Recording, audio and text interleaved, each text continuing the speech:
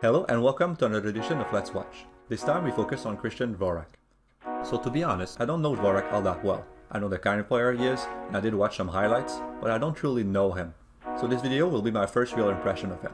Like we do in this series, I chose one of his games from last season. A good one, I think. Dvorak wears number 18. Driving it to the front, and they score, and it's Christian Dvorak Tyson. He- So this is the first face-off of the game. Dvorak is playing first line center between Kessel and Keller, like usual. His defenseman pinches up, so Dvorak covers for him. He stays above his man as he descends in the zone. This is a failed breakout. Dvorak anticipates this rim down and gets first touch on the puck, but he mishandles it. Still cuts that pass and finds the exit with a nice backhand touch. His team rushes up ice, he takes back ice and a shot on that. So let's rewatch this. This is a failed breakout, so it turns into a defensive zone sequence. Instead of remaining high, what Dvorak is going to do is win the inside lane on his man. So he gets first touch on the puck. He just fails to pick it up, but he still got the next play of that number nine. But really, what's interesting is what comes next. So instead of rushing straight at the opposition, uh, he sees that Keller pushed him back by skating all the way to the opposing blue line. And instead of, like I said, rushing straight at them, he takes a bit of a detour. So he, comes down, takes back a bit of ice, and gets that puck inside an open passing lane.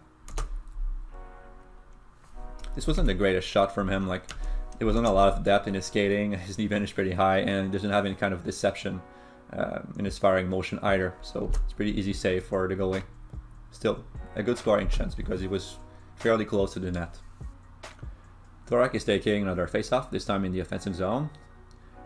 So it's 4 on 4, so I think Dvorak forgot that uh, there was a missing defenseman right there. He couldn't send that puck back to that space. Follows Kessel in the zone, gives him a passing option. Nice little punch turn. And yeah, okay, so this was really bad defending from the Sharks, but still, nice play by Dvorak. So I think that's Brent, Burns. He just loses his footing, falls down. Dvorak realizes that it's not 4 on 3. He has a numerical advantage, and he takes full advantage advantage of it. So Kessel cuts behind that defender. It prevents that defender from uh, really pressuring Dvorak head on. So he just walks up, takes all the space he can, and just fires the stop net. Nice placement. Again, not the best of shot, but it doesn't matter. They're this close with this much angle and with a perfect placement like this. Really nice precision. This is a defensive zone faceoff that Dvorak wins, and his team now breaks out with a stretch play. So Dvorak finds that puck, he rims it around, which is a good play from him because his support is across the ice, and his team wins that puck. Let's rewatch this. So the rim, and I like that Dvorak waits before making his entry. So he doesn't cut across the ice immediately. He waits for to see if his team is going to uh, win that puck, and he also waits for the Sharks team to collapse on the opposing wall. So this creates space for him in the slot, and if, if Kessel can reach him with that puck, it's uh, make a cleaner pass. It was a pretty hard pass to make. Uh, this would have maybe turned into a pretty good shot on that. But a puck bounces on his leg. And now he's pretty late on that back check, so he turned down ice instead of up ice. Yeah, now let's rewatch this. I don't think it's really his fault because uh, it's probably Keller's man in this instance. Uh, Keller is not picking anyone really. He's just skating in the middle, middle of two attackers, and uh, the first priority on the back check is probably the guy in the middle of the ice. So. And Dvorak is not in really in the picture right now, but um, maybe if he had skated harder, it would have been easier for Keller to sort out the assignment and know which man was his and what was his responsibility. So I give partial blame to Dvorak on this, but it's probably Keller's man in this instance. So now the Sharks are penalized for something, so Arizona gets a chance to establish their power play. Dvorak wins that faceoff, allowing them to set up. He plays the bumper position in Arizona's power play. And already a goal. So let's rewatch this. So as a bumper player, uh, role is to create passing lanes to teammate. He has to always move his speed to remain a passing option. to either collapse the defensive box around him, creating space for his teammates around the ice, or uh, by creating a passing lanes, he, al he also becomes a shooting option, which is exactly what happens in this sequence. So there's no lane right there. Dvorak is just going to move slightly to the left, create a passing lane, and fire this on reception. Again, not the greatest shot, greatest of shot, but it doesn't really matter because his own placement and the placement of the shot was pretty good. And I think that's what makes him a threat, a scoring threat. Uh, it's not really the, the, power of his shot, it's the way he moves and the way he places pucks on goalies. Another shift in the defensive zone this time. Dvorak is again on the dot. And he wins another faceoff. He stays nice and low. This allows for this passing play. Kessel gets this. And a point shot. So let's rewatch this. Really detailed, but I feel it's still important. Um, instead of just skating immediately up to the top of the zone as soon as he sees his defenseman get gain control of that puck, uh, Dvorak waits a bit. He waits to make sure that the passing lane is secure, that his team is indeed going to be able to exit the zone. And because he didn't skate up ice as soon as possible uh, and he waited a bit, he stayed in that pocket of space, made it really easy for Kessel to hit him with that puck. And now a passing play. You can see that Dvorak's skating is not the best. Protects that puck and finds Keller again. Gives him a short passing option in the middle of the ice. Let's rewatch this. So again, a detail, but as soon as he gets the puck, Dvorak redirects this to his defenseman at the point. So he knows he's released from, from pressure, where his teammates are, and he doesn't overhandle this. Uh, if he would have, there was a high chance for a turnover. It's good. And another rewatch. So this was a really nice chance for a tic-tac-toe play. Again, Dvorak is pretty good finding space. He skates the top of the zone, but not really top of the zone, the middle of the zone. And if Kessel had handled the puck correctly there, it's probably bouncy. This was a really nice occasion for a tic-tac-toe play. So his defenseman would have passed to Kessel and Kessel up to Dvorak for a shot on net maybe. So a nice idea, but it just doesn't happen. Which is often the case in hockey. Dvorak stays above his man. There is no chance for the puck carrier to make a play right there because you remove the only good option. And now he goes for a change. Dvorak is now on the penalty kill.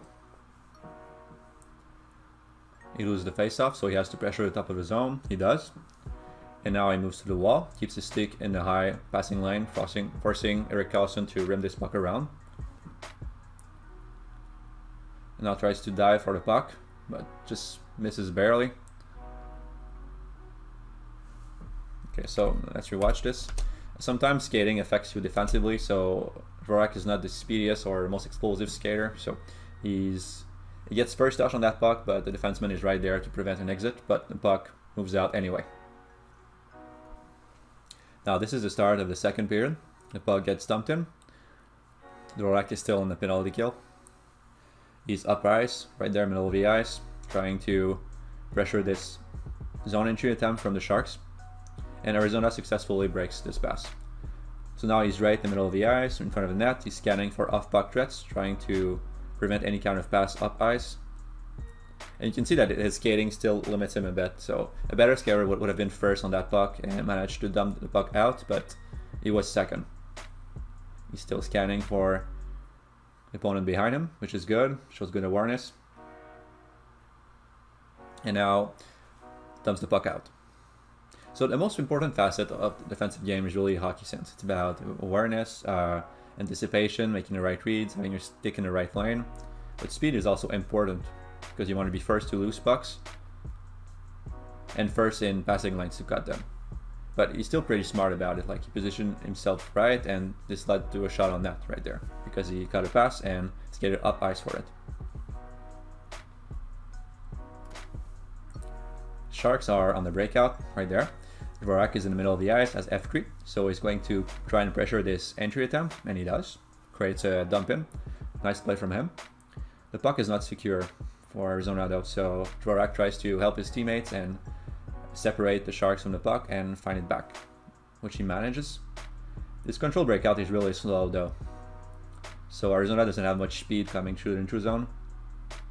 Still a good choice from Dvorak, probably what he could have done best in this situation. So Dvorak approaches the on forecheck of the Sharks. Was, uh, it's a really set forecheck, so everyone is in the right position. Uh, it's hard for him to create an entry with no speed, uh, partly because he lacks a bit of speed himself, but just the, the, breakout was really slow too.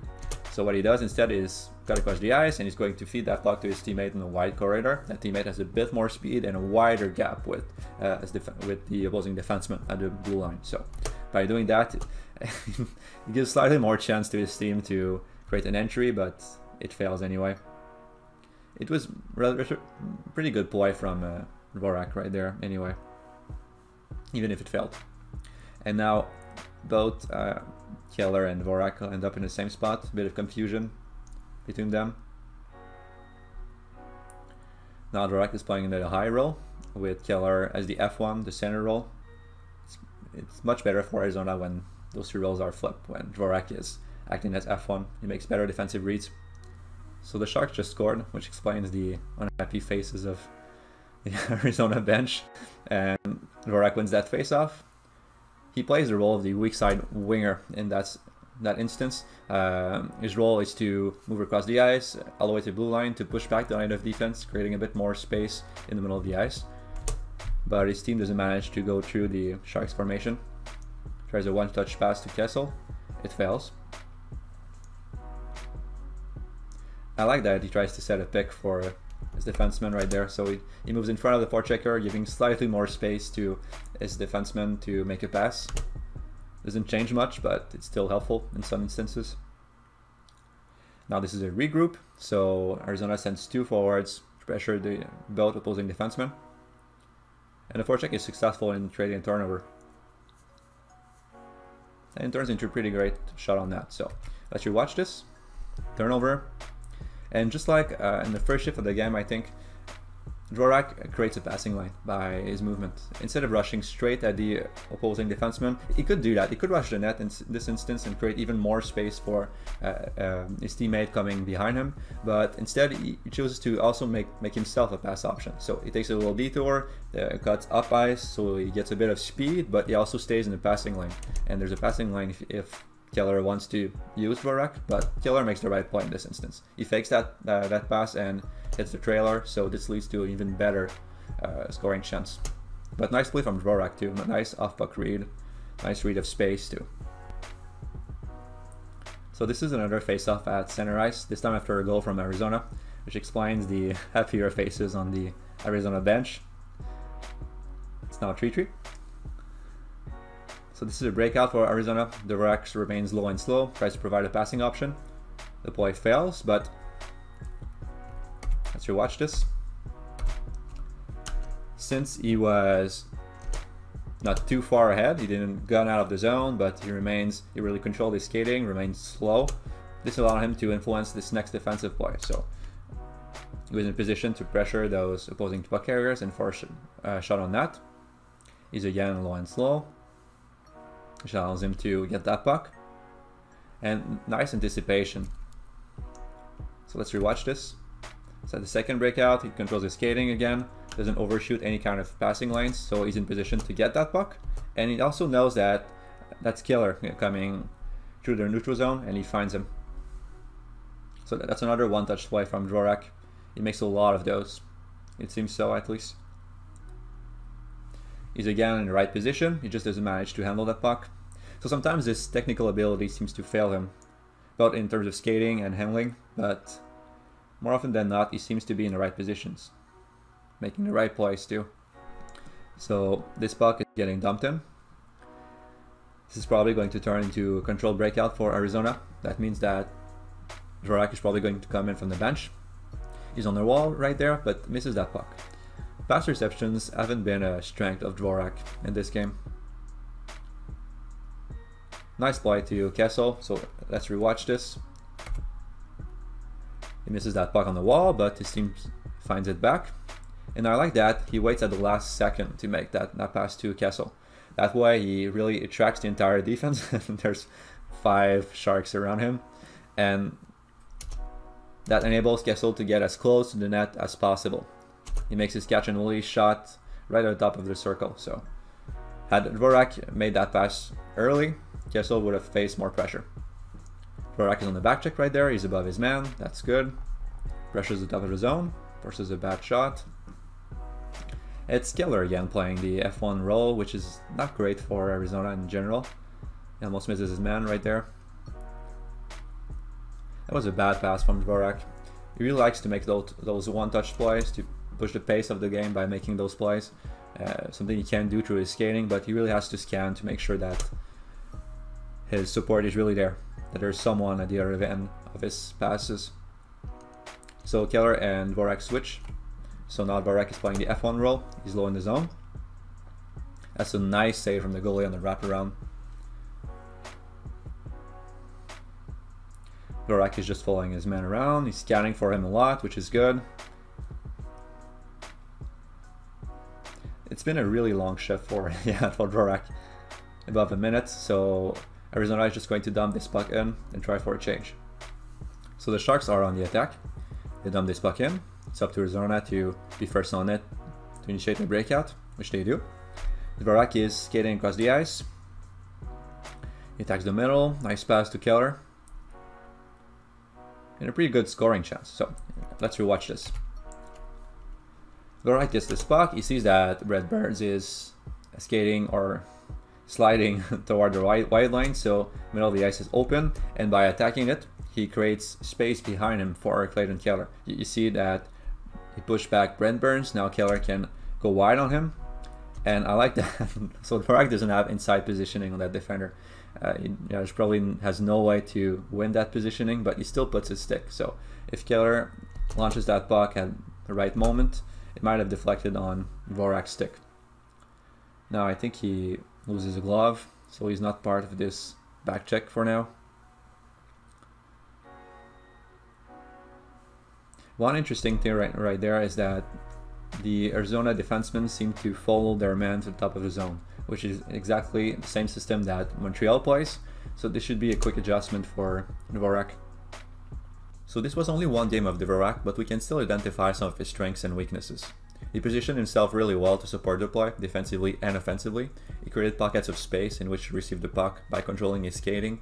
He made clever adjustments to his routes and speed to avoid getting inside the checking range of defenders. He also seemed to know the limit of his own technical abilities, so he made a lot of one-touch plays, letting his more skilled teammates carry the puck, while he positioned himself as a scoring threat. I also like his defensive game overall. His lack of speed and acceleration might be problematic at times, but he makes up for it by scanning for opponents and anticipating their plays. So overall, the Dvorak looks like an above average thinker of the game, even if his pure skills aren't all that impressive. He will probably fill the second line center role in Montreal effectively, but his scoring will likely be teammate dependent. He's probably not a very shiftable player, meaning that his abilities have a much higher value with high level playmakers that can complement his off puck abilities.